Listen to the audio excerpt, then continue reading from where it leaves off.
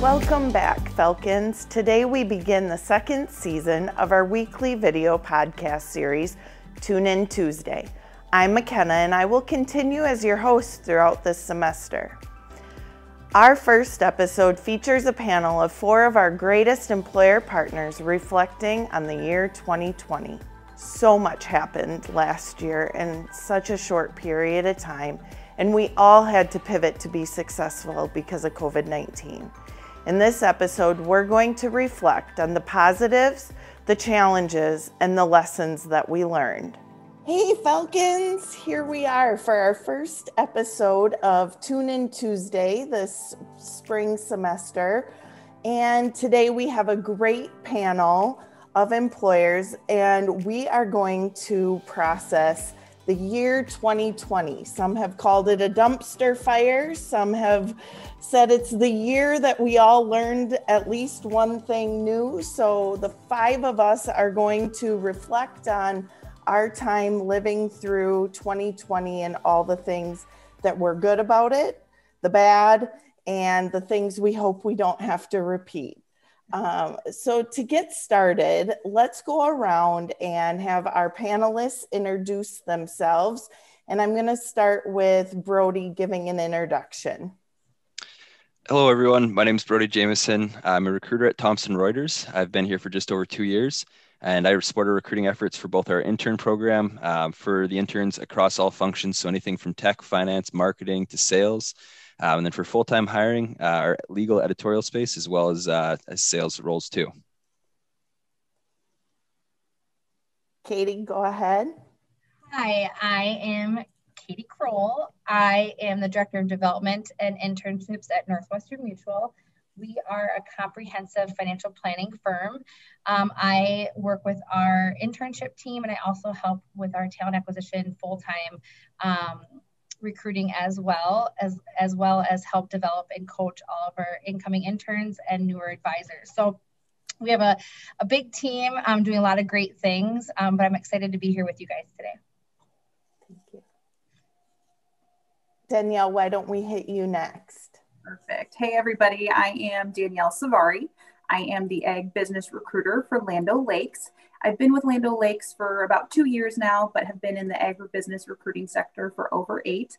And I recruit and work with anything from interns to executive level hiring. So, throughout the entire full recruitment process. So, really excited to chat with you all today and share some of my experiences as well.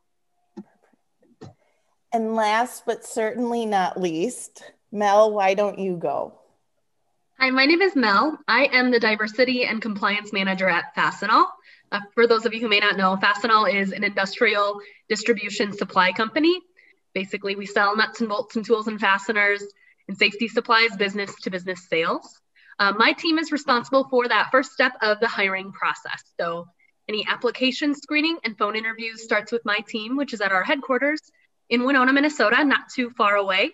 Fun fact our CEO actually graduated from UWRF. So we are a very proud supporter. Um, but Fastenal has 3,000 locations. We are in all 50 states and 25 countries. So wherever you're from, wherever you're at, and wherever you want to go, we probably have a Fastenal nearby. So 2020 is the topic at hand today and we're going to process all of the learning that came out of it, the things that as companies or organizations may kind of be a new pivot that will stay around, some things that were maybe a one time, yeah, we tried that, that didn't work so well. um, and so the four the four of you are going to serve as our panel of experts in really looking through the lens of recruitment and interviewing and hiring and onboarding and some of the pivots that have um, come about as a result of the pandemic. So, first question, and Melissa, I'm going to direct this one to you, and then the rest of you feel free to jump in. But what is the favorite thing that you learned, whether it was intentionally or unintentionally, during the year? Definitely unintentionally. I learned that I can be in multiple places at once virtually. That's that has been so awesome. As I mentioned, Fastenal has 3,000 locations. So I found myself in three different career fairs all in the same day in different parts of the country. And um, it was awesome to be able to represent Fastenal. I've been here for 10 years. So it's awesome to represent Fastenal in those geographic areas where normally I couldn't reach physically. Sure. That's great. And we've seen, we pivoted to um, virtual fairs, and we have seen that as well, where um, employers that previously wouldn't have made the the trip to our physical location our our reach has now expanded so that's that's fun to see and more opportunities for the students anybody else want to weigh in on what the favorite thing they learned whether intentionally or unintentionally on the human side, I'll jump in here, McKenna. Um, you know, I think a big thing I've learned is just a lot about my teammates, right? I think that the the face to face interaction in an office is great when you can, you know, sit down and have a coffee and, and chat with them in, in the same boardroom uh, or the same coffee shop. But uh, you know, learning about somebody when you know their kids might come in or their dog might come into the screen, right? So I think there's been a different lens on on what that is, where that that approach to meeting your teammates, and uh, unintentionally, I've have been able to meet uh, and see the human side of a lot of my teammates. Mm-hmm. Yeah, I couldn't agree more, Brody. That that is um, been one of my favorite things of 2020 is just kind of getting an inside look at people's lives um, in a different lens. So that's been um, a huge blessing. I mean, I look, you know, and ask this question. There's a lot personally and professionally I think about, um, and I'm going to go a little bit more personally. I think um, because you know our professional lives play a big role in our personal lives, and I don't know if it was either intentionally or not but um, you know just looking at like the capacity of like a working mom um, i have four kids and trying to navigate and pivot through you know school changes and are they going to go to school and our daycare not you know we have a nanny that comes in our home and not feeling comfortable and for, at first for the first couple of months why we kind of figured out what covid even was um, what a pandemic even was. Like we've all heard this taboo word and all of a sudden we're living it. Like who would have ever thought that right? Mm-hmm. um, so i think like you know it allowed me to like really um, slow down and prioritize like my world. Like how was i going to get through um, the foreseen future? And you know we're as humans are um, able to get through trauma um, for short periods of time but not long periods of time. And so the first like three months, I'm kind of like, all right, this is new, but I kind of like working from home, but not having four kids out here is, I don't know if I like that so much as I'm trying to work um, and teach, you know, algebra and things like that, that I probably didn't pass in high school and college, but um, it allowed me to really prioritize and um, think of my priorities. And that being my family. And I, you know, work to provide a, a ticket, um, a salary that allows me a ticket to do great things and fun things with my family. And we just learn different ways to build memories and take the time to be present. Um, and I think that's allowed me to be a better leader and be more present um, in how I lead um, today. That's well, and helpful to the teammates because you're everyone's going through this although their experience may be different.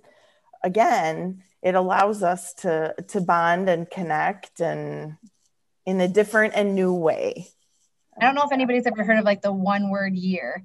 Um, i try to pick a word every year that i like mm. try to live by.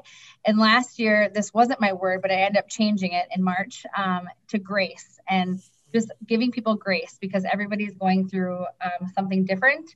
Um, and I think it allowed us to be a little bit more human and not just lead for the business, but also lead on, on a personal level too. Absolutely. Katie, going through 2020, so you said that you changed it to grace. What have you, do you know what it is for 2021 yet? It is, it's presence. I want to be my favorite. Um, I live by this, and my team would say I live by this. And something I hope I teach other people is be present where your feet are at. And I always say that. And I feel like 2020 really allowed me to slow down and be more present. And I want to continue that in 2021. Awesome. I like it. What was your word at the start of 2020? Lead. was I wanted to lead, and that just meant by lead by example and all that. But during a pandemic, when you have to pivot a hundred times, I was like, I don't know if I'm going to be the leader I wanted to be right now because this is a, a, a new word called pandemic I've never had to live through. So, Danielle, what about you? Yeah, I think for me, some of the the biggest things I learned was just resiliency. I know we've kind of heard that in general with the pandemic and outside of the box thinking, just the trainings that we had to adjust, the virtual internships and everything basically within a month, and really working with your teammates to be resilient to get it accomplished. And I think on the personal side, so I live in Cedar Rapids, Iowa, and we were hit with the derecho this summer in August. And so I was without power for 12 days, um, no cell service or anything. And it was just like the pandemic plus the derecho and everything. I joked with everybody that I said, if I can live through 2020, I can live through anything, basically, at this point. Um, so I think just the resiliency through work and the resiliency as a person and driving out to the middle of nowhere to find a signal and like work from my car so I can get some things accomplished. You know, it's just, it's a various different world that you have to work through. And when it is accomplished, you feel great right? You realize how much you can do and how much potential you have. And I think that's a huge factor of what 2020 has taught us. Mm-hmm.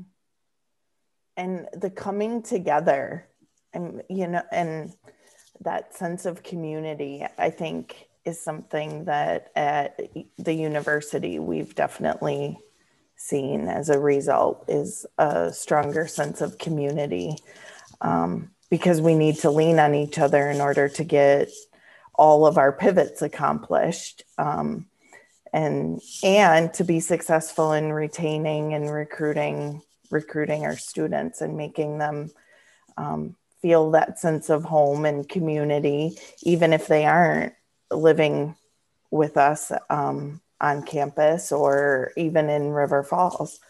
So yeah. Okay um, danielle this one i'm going to direct to you to start and then um, the other three if you could also weigh in. But Danielle, what is one thing you will continue doing as a result of the pivots and transitions that you've made in the last year?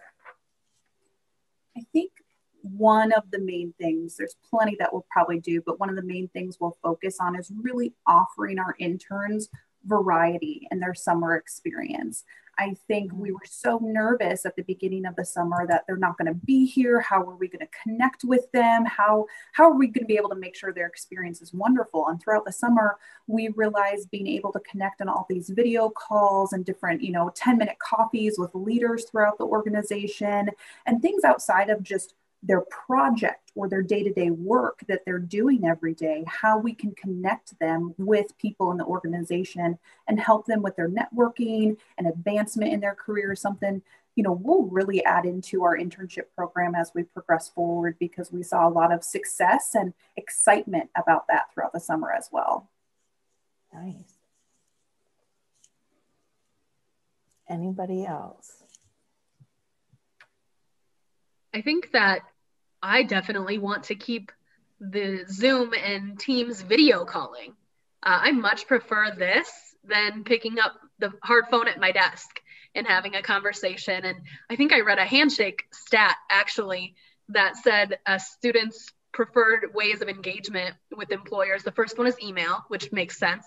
And the second one is virtual face to face, which we're doing. And then the third would be phone. So I think that that's a mutual thing that both us as employers, we've we've learned and we've been through so many meetings now virtually that in the past we probably would have done in person.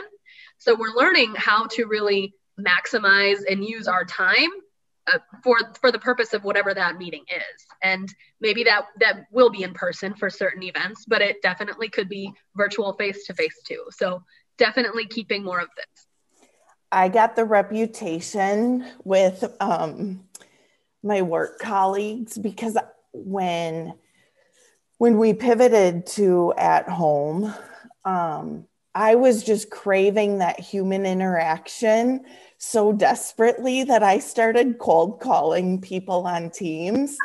And so if a meeting got done early i would quit cold call one of my colleagues to say, Hi, how are you? Because the other thing that I noticed is that if you're running back to back in virtual meetings, if you have those extra minutes, you're taking a comfort break and, and you're doing whatever you need to get ready for the next meeting.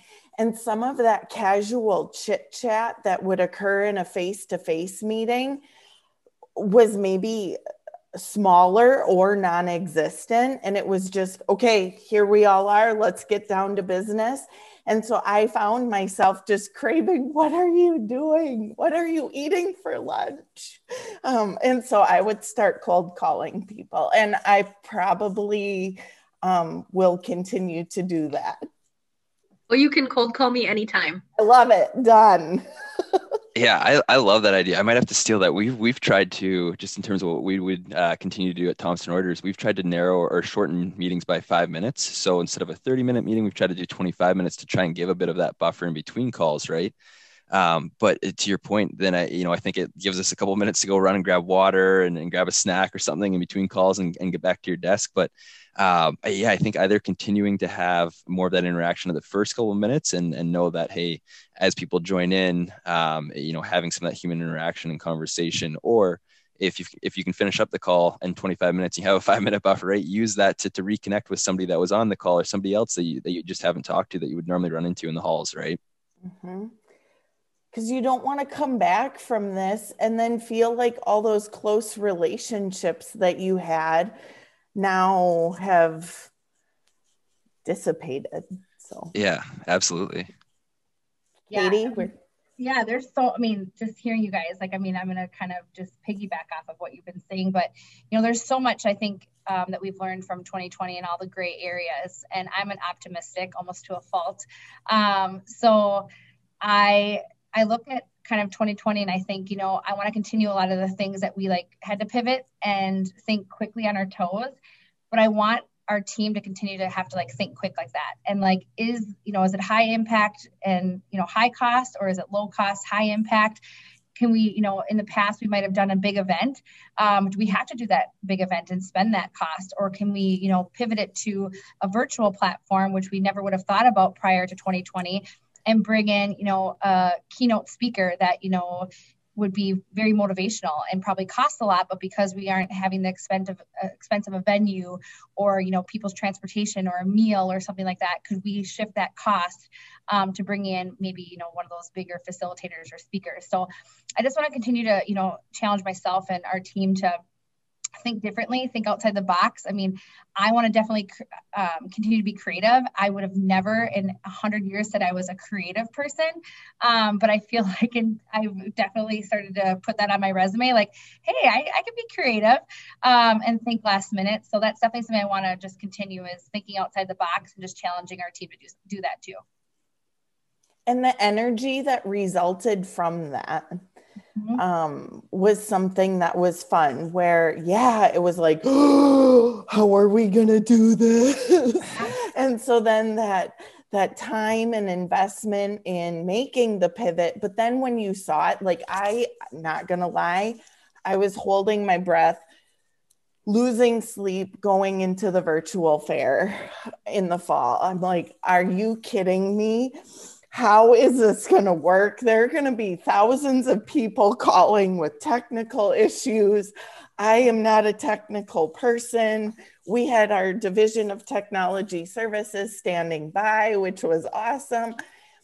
And after the first hour, I was like, um, okay, it's happening.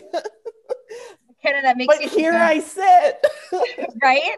It makes me think we had a huge, um, we do an intern family night every year where we like um, host um, all of our interns and their parents or their significant others um, to a big event. And it was a very, um, one of our favorite times of year. And we had to pivot in April, it's always in April, to a virtual platform. And I'd already planned a huge venue, all these things. So now I had to unplan that and plan this virtual one. I too was like so nervous. I remember sitting with our team and I said, Do you guys ever watched Apollo 13? And some of them said yes and some said no. And I'm like, there was a point in the movie where they had to get him back down to earth and they like basically took a square something and a circle, and they were like, "We need to make this square fit inside this circle um, engine part or whatever. And I was like, that's what we have to do right now. Like we just, there's no way, but we have to find a way. so I totally feel you. Now I feel like we're experts at it. Right. And to be like, and it worked yeah. and it was great mm-hmm. and connections were made. So mm-hmm. yeah. Anybody else want to weigh in on one of the pivots that they want to keep? Okay. Brody, I'm going, I'm coming for you with this next one. Um, what is one thing you will gladly eliminate from your routine after the pandemic? Yeah, is, I, I, like this question. You know, this, this is kind of a, a unique question in terms of what's the world going to look like after, right? And I think we're still, as we're going through this, we're still figuring it out, right? But I, I don't know that I would necessarily say I would eliminate anything, but just try to blend the two worlds together. Um, so I think about, you know, what have I learned about um, structuring my my day better so that I can have a good work life balance and I'm not just walking over to the laptop and I'm, you know, still getting workouts in or you know doing sporting activities before or after work, um, but still finding that balance once we do go back in the office. So I don't necessarily know that I would eliminate anything, but more so just take the lessons learned from going through it and then going into what I'm expecting for, for us at, at Thomson Reuters to likely be a bit of a hybrid world of working in the office some days and working at home is to really be more efficient with my day, uh, you know, once we do move through and, and pass the, the, the, uh, the pandemic here. Mm-hmm. I agree with you, Brody, on the, the hybrid approach with some of the items. You know, one thing I think about of not eliminating, but meshing together is those internship trainings. We had to do everything virtual. And yes, I want to have it in person. I want to be able to have, you know, social distancing and, you know, the students at least be able to be around each other safely. But the capacity of having the virtual training really opened it up to maybe some students or individuals that wouldn't have been able to travel or a location that's too far away, you know, and things like that as well. So really just bringing those together to have a good balance throughout it all, I, I think is really good for the future. Mm-hmm. I'm eliminating um, teaching, um, teaching my children. I do not want to do it anymore. Um, I'm over it. I, I have my associates in early childhood. I thought I was going to be a teacher. Um, and then I found out that I really don't have that much patience. Um, so I had to switch my degree to business. Um, but so that's one thing for sure that I'm very much looking forward to is having all my kids in school 100% of the time um, with the experts because I'm not one. Um, thank God for YouTube and Google. Um, it's Amen. probably going to help my kids pass their grades. Um, but in a professional world, I definitely would say, you know, I want to eliminate um, all the virtual things. Like I want to have more of a hybrid. Like I too miss interaction. I miss people. Um, I'm a people person. Um, so I need the interaction. I want, you know, to shake somebody's hand again. I want to, I'm a hugger. I want to give them a hug. I want to um, have them in my office. And we are like, I have a pretty spacious office. So like we can sit in here, social distance with masks on and things like that. So it's very safe. But I want to have the hybrid option. Like I want to eliminate just having, you know, pretty much all virtual platform. Um, us as humans, we're made to have human contact and interaction. And I definitely am missing that and I can't stand it much longer. so well said.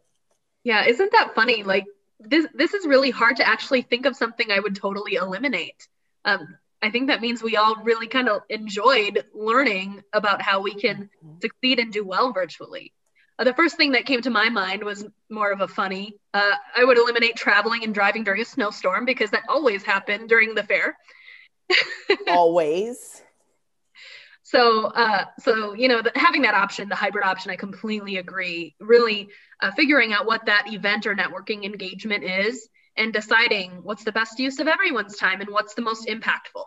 If that should be something that's in person physically or virtual. So, I completely agree with you guys.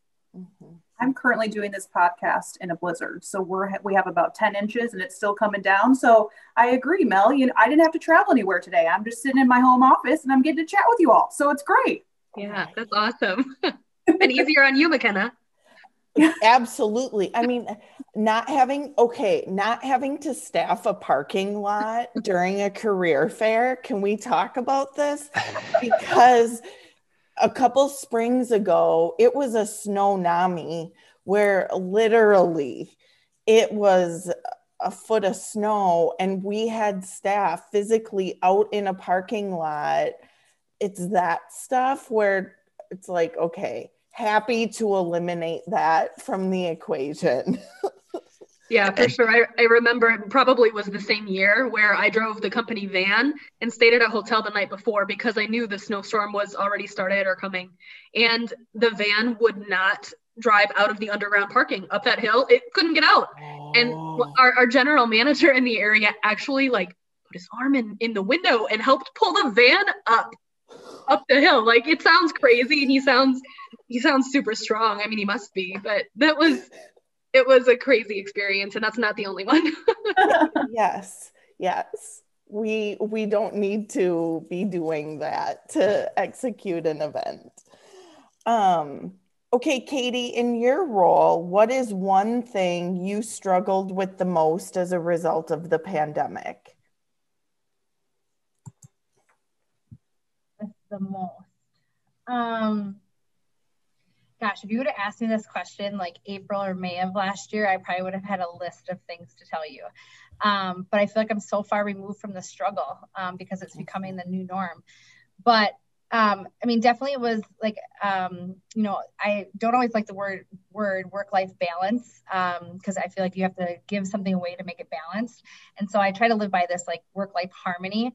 Um, and that was definitely a struggle um, and still kind of is. It's just a struggle of like how to still be a great leader, how to still lead a team, how to still be there and support, um, you know, my my team members, um, be a good team player, but still be like an a present mom and wife, um, community member. So that was definitely um, a struggle I faced. And I think just in being in a, a leadership position, you know, everybody looked to you to kind of figure it out and we didn't always have the answers so that was a struggle it was like you know we hope we're making the right decisions. You have to make a decision. Um, you don't always know if it's the right one, but you just have to stand by it and stick to it.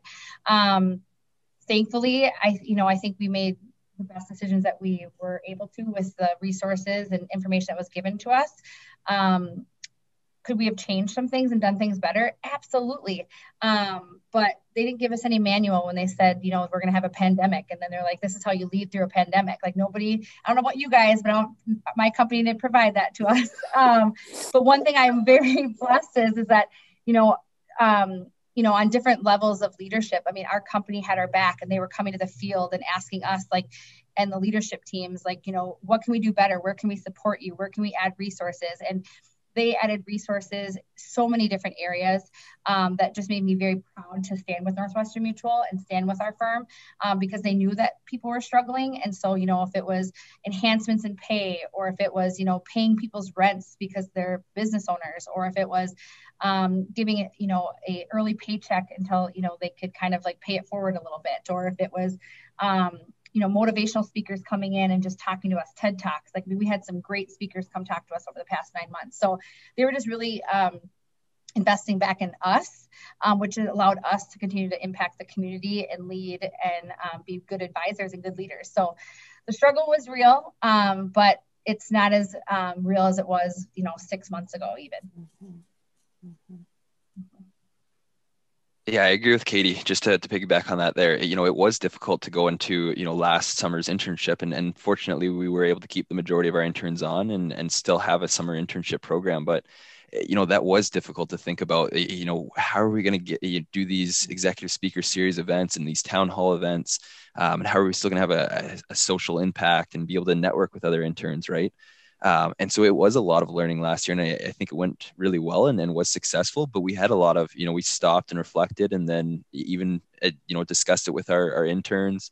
Um, ended up rolling out a an intern advisory group that was kind of like a, a little intern student council to say, hey, what can we do differently here? You know, what eh, you know, which what type of events would you like, and and what would help you with that? So, um, like typically we would go to a, a Minnesota Twins game um, you know, or we would meet mm-hmm. down at, at, the Caribou Coffee Shop, right? So instead, we just did 15 minute um, coffee teams meetings, basically, um, and then downloaded Kahoot, and everybody played Kahoot games, right? Mm-hmm. So there was a lot of learning, and and it, you know, I think the the nice thing is that we learned along with interns last summer. Um, and hopefully that'll help it uh, not be as stressful going in, in, into this summer and, and just be an even better experience for everybody, uh, everyone involved. Mm-hmm. Yeah, it's funny that you mentioned Kahoot. That was something that came to my mind too. That a challenge was being more engaging and interactive when we're uh, networking with clubs or organizations or in the classroom.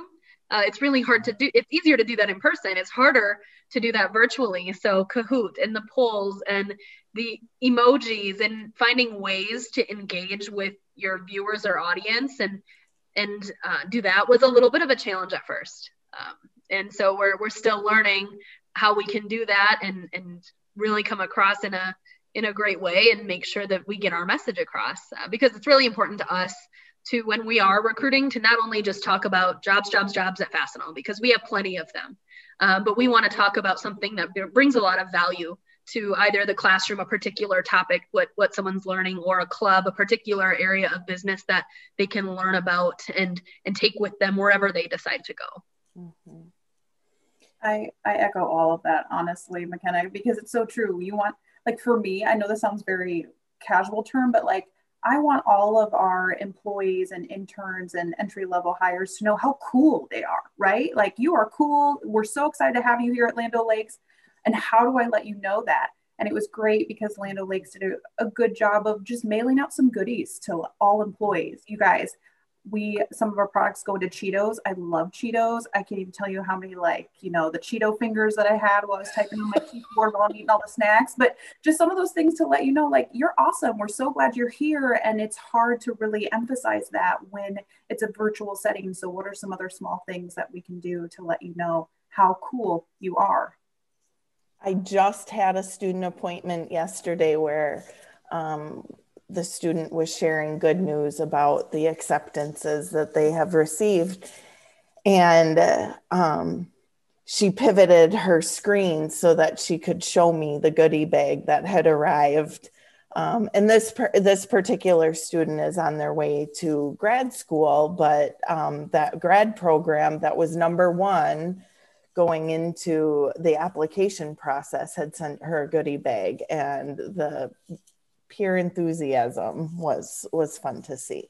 So swag. It's an answer to everything. I will add one more thing. I think some I know I still struggle with this is um, you know, we can have virtual interviews and connect with people. Um, but there's a lot that I'm missing when people aren't coming into our office in the recruiting process. Like I, there's a lot, you know, that was said when an, an intern or a full-time um, candidate would come in and sit in our lobby. And part of our interview process was to have our um, office manager. They didn't know she was our office manager. She thought she was a receptionist. Um, and sometimes people might think because they that's the perception that their title isn't what it is might treat them differently. And so that was part of like our recruiting process is like leaving them out in the waiting room to engage with other people and mm. um, other team members walking by them and talking with them and just seeing if they were stuck in their phone or were they coming in looking professional from you know getting out of their car coming into our lobby um, engagement right? And then coming back and shaking their hand. Like i miss shaking people's hand because that tells a lot about somebody right? Their confidence um, how they present themselves and hold themselves I don't know about you guys, but doing this virtually, like I'm missing that, like, um, you know, kind of like your gut instinct when you like first meet somebody, that first impression of like, you know, you kind of go with your gut a little bit. You're not really getting that because you're not feeling the vibe of the room. You're not feeling the vibe of the other person. It's hard to read their body language when you only see maybe, you know, this much of their body, right? So you're not seeing their hands as much. So I really tried to work with my team and like talking with their hands and um, how to kind of read their body and um, maybe ask more um, different questions and maybe that we've asked before and we've kind of changed that format because that struggle was there that um, just natural first five minute impression of somebody. Um, we're not getting that as much. So that's definitely still a struggle especially for our talent acquisition team.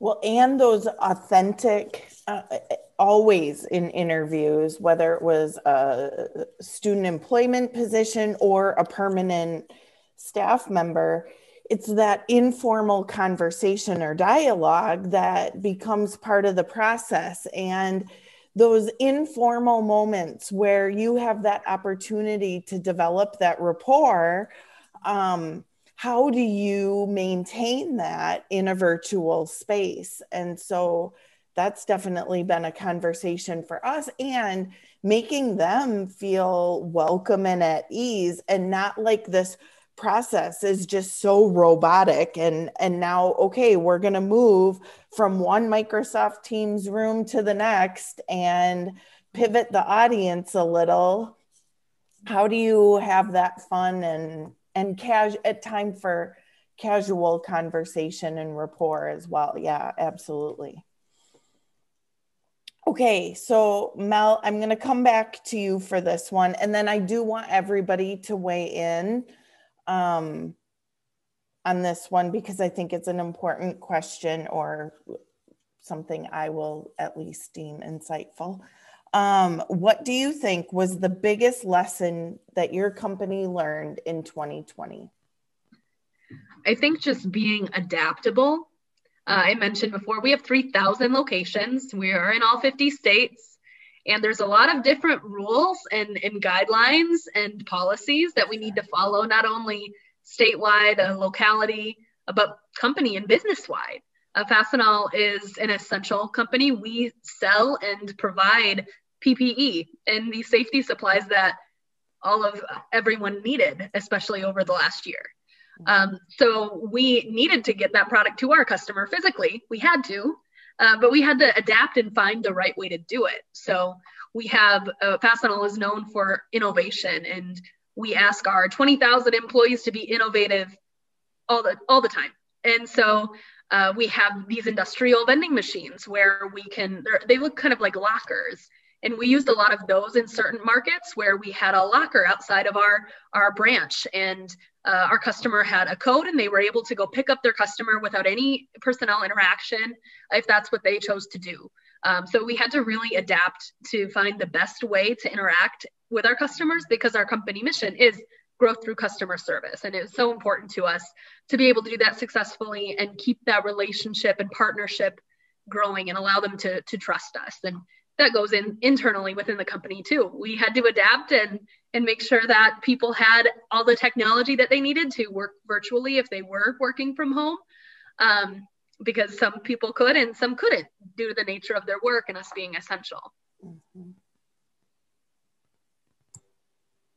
I would piggyback off that, Mel, with the essential business. I think that's something Land Lakes really highlighted this year and understanding, you know, we're we're feeding people. We're keeping people alive and nourished during this time when the shelves are bare. There's nothing there. We didn't have to dump any milk. You heard about other organizations that had to. We didn't have to because of our employees, right? And how serious they took their job, understanding we are essential for America at this time. How do we get our work accomplished? And it, like honestly, I have like goosebumps when I think about it sometimes. I'm sitting here at home, I'm trying to find the best people for our organization and to see these individuals do that for people they will never meet in their life is just amazing in that aspect. And I, our CEO, Beth Ford, I have big props to her. I think she's amazing. And uh, I know we talked about this earlier, but one of her biggest things throughout the year was just give yourself grace, right? Understand you're going to need to take a breath. We're all going to need to step away. We're going to have to refocus. Our supply chain team is working 24 7 trying to figure out how everything's going to get everywhere. And, you know, there's teams that aren't as busy. So they're learning supply chain so they can help out and just everybody's putting their hands in to get work accomplished. So I think that was one of the biggest items we learned as an organization is just the importance of our business and how happy we are that we've been around 100 years and that we still are this important in 2020 2021 Danielle, that's awesome. Um, it gave me the chills. I'm a huge dairy farm supporter. I grew up in a small town with a lot of dairy farmers, and so um, that's awesome. So thank you guys. That's very impactful. Um, you know, just going off of just the discussion of where we are right now and like evolving. Um, I think you know our company really has evolved, and every company had to. Like you had to change and um, how you were doing things. If you didn't, you probably are no longer in business, right?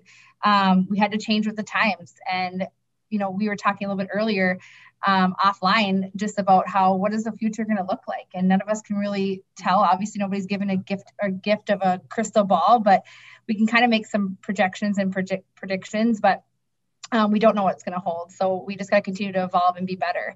you know, us being a financial firm, um, during crazy times, people are very emotionally tied to their dollars. And so, us too being an essential business, um, people were, our phones were ringing off the hook and they wanted the, not the robot. They don't want like the robo investor online. They want a human telling them, hey, am I going to be okay? Especially, you know, even my parents. Like I look at my parents and it, it could almost bring me to tears sometimes, but it's like, you know, they were about to retire. And it's like do we retire? Like can we even retire financially? Like are we going to be okay? And um, they chose to work for another year um, just because it was a scary time. And so you look at all these you know baby boomers and people who are nearing retirement it'd be a pretty scary time to you know go to retirement during a pandemic but then there's a lot of people that were forced into retirement um, because the companies couldn't pay to pay them anymore um, so, you know, we dealt with so many different emotions and um, we deal with people's lives. And so when you talk about impact and like your, you know, um, Danielle, your company feeds us, um, you know, it's, in my opinion, it's wealth, um, health, um, and happiness makes us kind of go around. And we really were a key essential component to people's, you know, uh, mental mm-hmm. ability, men- mental health because um, mm-hmm. financial struggles definitely play a role in that and i couldn't be more proud of our advisors and how they helped people pivot in their own personal and financial lives um, but our company backing us during all that and like how they gave us the resources and like help those advisors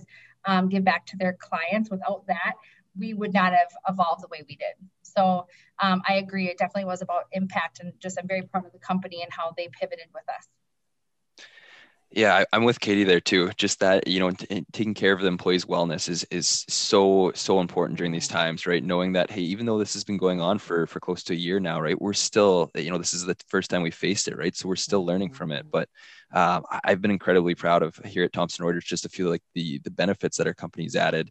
Um, in terms of uh, making sure that we have technology. So a, a technology stipend if, if you don't have a desk set up at home, um, or benefits around uh, gym reimbursement and, and what that um, will cover instead of just being a, an in-person gym membership because people might not feel comfortable with that right?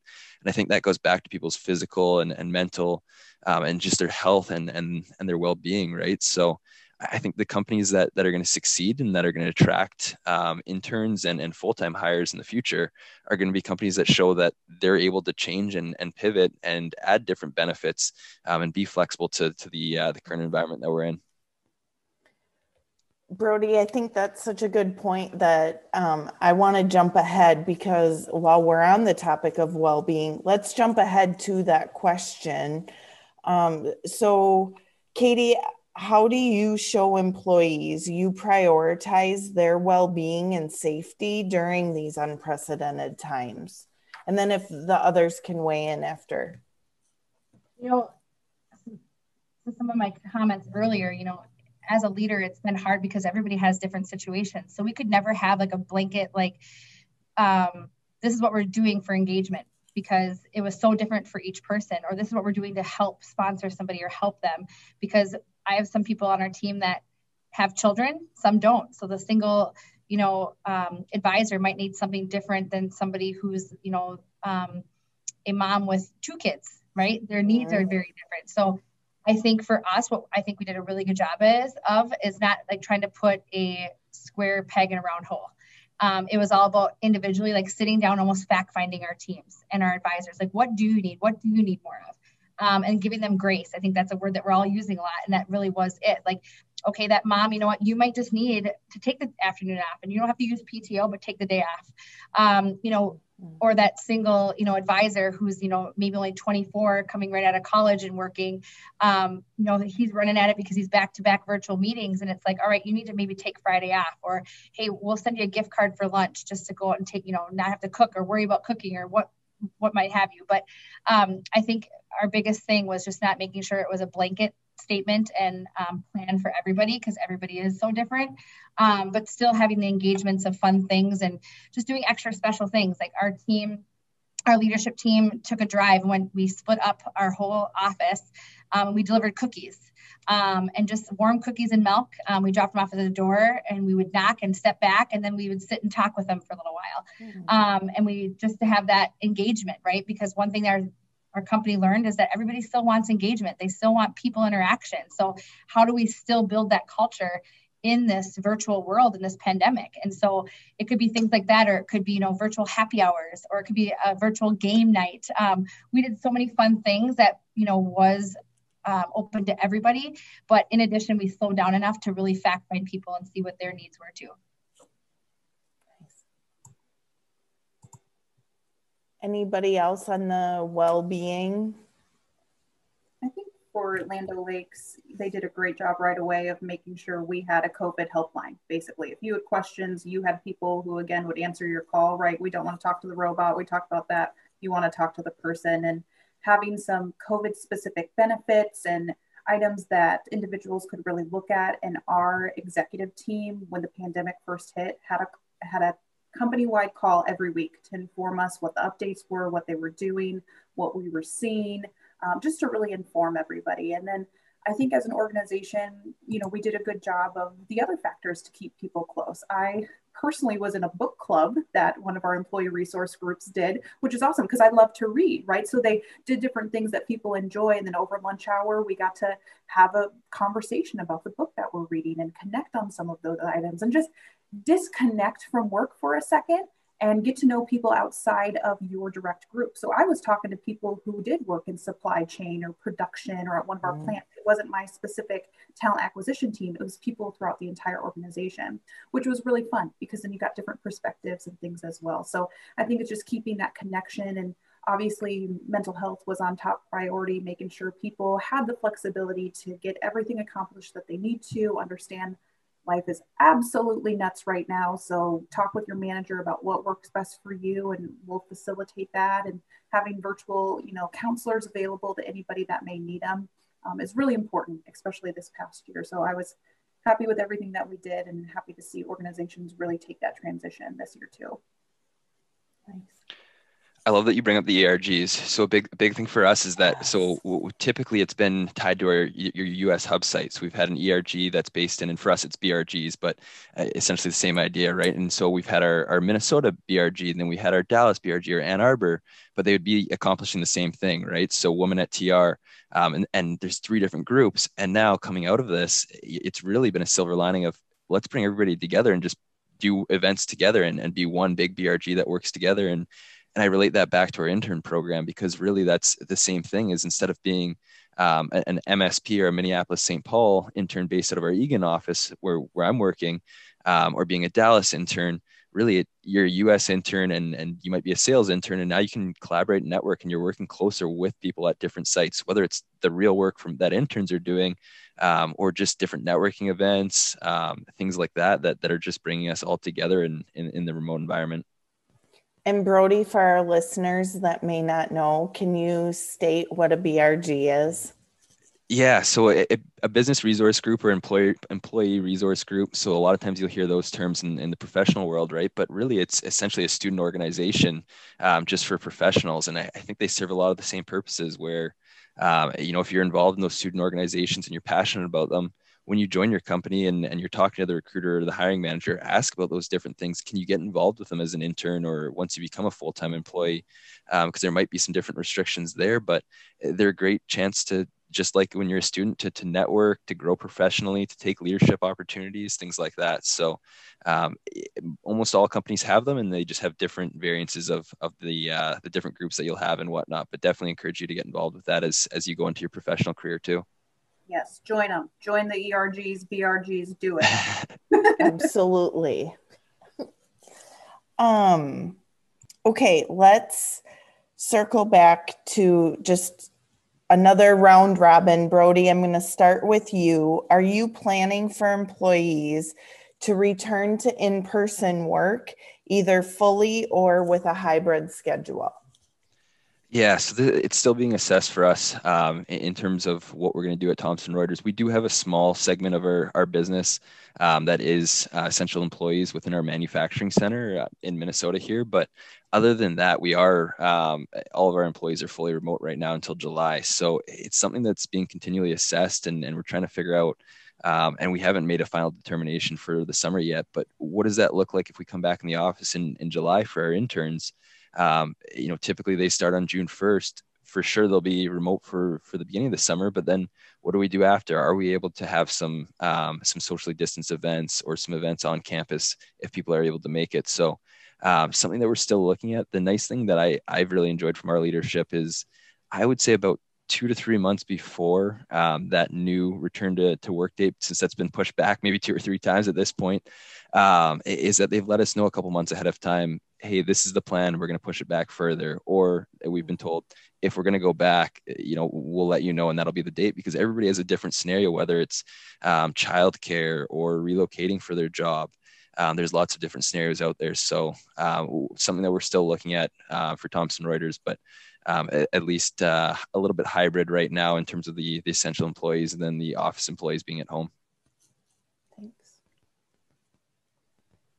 Katie, why don't you jump in next? Oh, Mel, go ahead.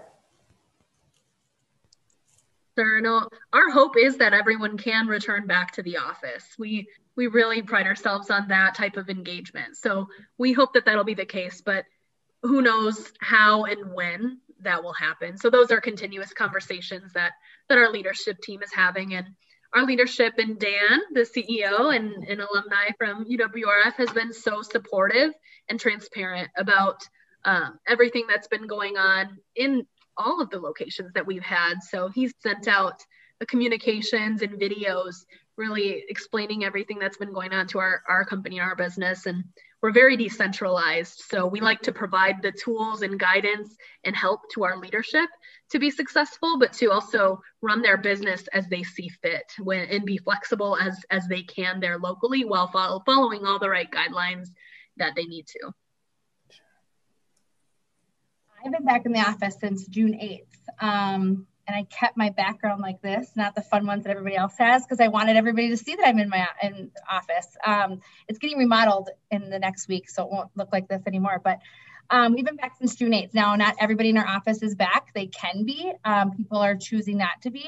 Um, and again, that's the beauty of our company and our leadership is that we are okay with that. We're allowing people to kind of make that decision on their own terms.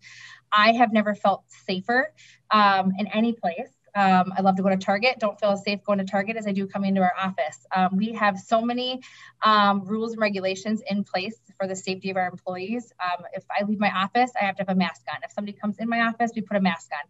I have tape on the floor, and if my chairs are pushed back, it's set seven to eight feet away from me and people can still come in and sit in here but have their mask on um, we have sanitizer everywhere um, there's sign in if there's you know people uh, clients coming in we can allow clients to come in now. That just started um, back in September. Um, they have to sign in so for tracing. So it's very safe. Um, I don't foresee everybody being back. Being on the leadership team, that's been difficult because we want people to be back in the office um, because you can tell that a lot of people are starting to need that engagement and the environment um, to succeed in because um, they're maybe not being as successful at home as maybe they think that they are. Um, so I do foresee, you know, more and more people coming back um, mid, late spring, early summer. Um, but I would hope to be back at like 75% capacity this fall. Really the only thing I have to add is, you know, we're taking it step by step, just like everybody else. And obviously, multiple locations, multiple states, you have to go with state regulations and what they are providing for individuals as well. And um, Land Lakes, the corporate office is in Arden Hills, Minnesota. So we do have our essential workers in the office and the capacity at the minimum at this point that we can have. But they've done a really good job of the hallways have arrows on what direction you're supposed to walk. You're not crossing anybody. There's only mm-hmm. certain restrooms available throughout the um, building. They are cleaned multiple times during the day. All those like safety precautions that are are happening are in our corporate office, but then also our plant locations. You know, there's temperature checks before you can even walk in the building and things like mm-hmm. that as well. So just like everybody else, it's a step-by-step process. We're hoping that we can get everybody back in the office, but we'll take it one day at a time. Sure. And I will say, even like we talked about a little bit earlier, like I think the future is going to look different than it did, you know, pre-COVID. Um, there is going to be a world called pre-COVID, during COVID, during COVID, and future COVID. So, um, you know, I do think that everybody's going to kind of work from home and they're going to kind of build that into their calendars now that we know we can do that in a in some type of capacity. Like I am for sure enjoying my lake home every Friday up at the cabin, sitting on my deck working. Like I am not giving that up. So unless they want to fire me, it ain't going to happen. Like I'm not giving that up. Um, because now that I've had a taste of it, I am not letting that go. So um, I do think people are still gonna at some, even though we might have, you know, everybody back in the office. They're not going to be in the office on the same day because I guarantee people are still going to select days that they're going to be home working. Um, I guarantee Fridays are going to be a ghost town. It's you know the Midwest. We only have so many nice days, so um, I guarantee Fridays will be ghost towns. But it's always going to be safe just based on all the regulations that we do have in in, um, in force. Katie, you send me that address. I'll meet you at your lake home. you got it. and then we'll have an in-person happy hour. okay, I love it. Um, okay, let's maybe pivot to the questioning around some recruitment practices. So, how has the pandemic affected your recruiting and interviewing practices and schedules? Katie, why don't you start? I mean, I think I talked about it a little bit earlier. Like, it definitely has been different of how to um, you know, our recruiting process from the time that somebody walks in our door um, to now how they come up in a virtual meeting. So we've had to change some of our questions. Um, we actually have sent people on homework now. Um, before we didn't do mm. some of those things. So we've actually implemented like a different process and steps um, in our um, selection process. We've added more people into our selection process just so that there's more eyes and ears on a candidate um, that maybe they pick up on something that um, maybe we weren't able to because they aren't in the office when we knew when we normally had those walk bys and um, different like um, engagements when we had a candidate in the office um, we do have them come in though however at the if we're very serious about a candidate we do have them come into the office um, on the last interview that we are about to extend an offer um, because we want them to see the office. We want them to see our culture. They, we want to give them a tour. Um, we think that's still very important. So we have um, implemented that um, back in September when we were able to start bringing people back into the office. Um, and it's been received very well. Like I think people were missing that prior to. Um, and then as far as you know, as far as schedules and things like that, like it has allowed us to bring in some great leaders into career fairs, into class talks, because they don't have to commute, they don't have to drive. Um, we think outside the box. We've grabbed you know people from outside of even the Midwest to come in and talk and be part of you know recruiting or development of our talent acquisition team um, to help them because maybe they're succeeding in Dallas or in you know. Mm-hmm California, they're one of the rock star Northwest Mutual talent acquisition directors. So we want to bring them in to teach our recruiters. So we're utilizing that because the schedules are allowing it because we don't have the commute time in there. Um, and I also think that our our hours of recruiting, we used to have like an hour. Now it can be 45 minutes um, because our process is a little bit different. So I think we've changed some things. Maybe we'll change it back. Um, it hasn't been talked about. We're just going to keep on this um, train right now, um, but it's definitely working. Um, we've implemented some things along the way and we've changed it too, just off of feedback that we've received from candidates. Um, and I feel like we've got a good process down now. Nice. Our hiring process has slightly changed. We, we are an essential business, so all of our sales personnel and all of our distribution or warehouse transportation personnel, they have been physically in the office the entire time uh, because we need them there. So it's really just been our office personnel who've, who've been working from home if they can. Um, and so our hiring process has adapted slightly. Uh, we have our online uh, application and phone interview screening that's done by my team. And then we do actually the first interview over the phone. Uh, and so the hiring teams locally would be able to do that. So it's really important to Fastenal to be very decentralized in our hiring process and let the local team make those decisions. And so we we want that phone interview to be done there. And then similarly, we want that second interview to be in person physically in that environment where the job is going to be located so they can see where they would be working and make sure that it's a match for them um, as well. Yeah, ours has shifted quite a bit at Thomson Reuters, um, just because we were used to doing everything in person, whether it was career fairs or on-campus interviews, right? Um, and now we're fully virtual at career fairs and, and recruiting students this spring, right? So um, it, has been quite a shift for us, uh, but I also think it's given us some flexibility um, that Mel talked about earlier too, in terms of uh, we have a really small campus recruiting team. So really, it's myself and then uh, one of uh, one of our coordinators that helps me out. And between the two of us, it's it can be difficult to to necessarily find business leaders that are um, always have time to you know to travel to the school um, and and spend the full day at the career fair. And instead, they've been able to break up their day and spend you know two hours, and then have somebody else in their team spend two hours, and then we'll spend the last two hours in a, at a six-hour event, right? So. Um, we've had some flexibility there, but then we've also looked for that in terms of candidates, in terms of our, our interview questions and what we've done. Um, we've used HireVue, for example, more often, which is a, a video recording platform um, and that's become a, a, little bit more normal and a little bit more comfortable for students as they get used to being virtually interviewed and, and doing the virtual recording for uh, for interviews. But we've asked more questions about you know being flexible and adaptable with technology um, because we don't know when we're necessarily going to go back in the office. So if, if we're not, it's important that we'll you know we'll be able to have students that can still be successful in the summer. So um, yeah, it's shifted a lot, and I think we've taken a lot of learning lessons out of it with with talking to students too. So, um, all good things to take forward to what the post-COVID world might be, and where we might be virtual for some fairs and then in person for some fairs. So, I think that'll be a fun learning experience as we shift back out of COVID full transparency for me, I actually worked from home before the pandemic. So that shift wasn't as difficult for me personally, which was nice. But I also got gratification that then my other teammates were like, oh, Danielle's not just eating Cheetos all day on her couch. And, you know, she's actually working. So um, that was fun. And also fun for me to be able to share some of my tips and tricks when it comes from working from home for my colleagues. And like my husband as well. All of a sudden he he works at a bank and then he's like at home with me and he I'll never forget it. He came up on the first day he was home and he came into my office. No joke. It was 9 a.m. and he's like, How do you do this every day? And I'm like, Well, you're gonna get used to it, buddy, right?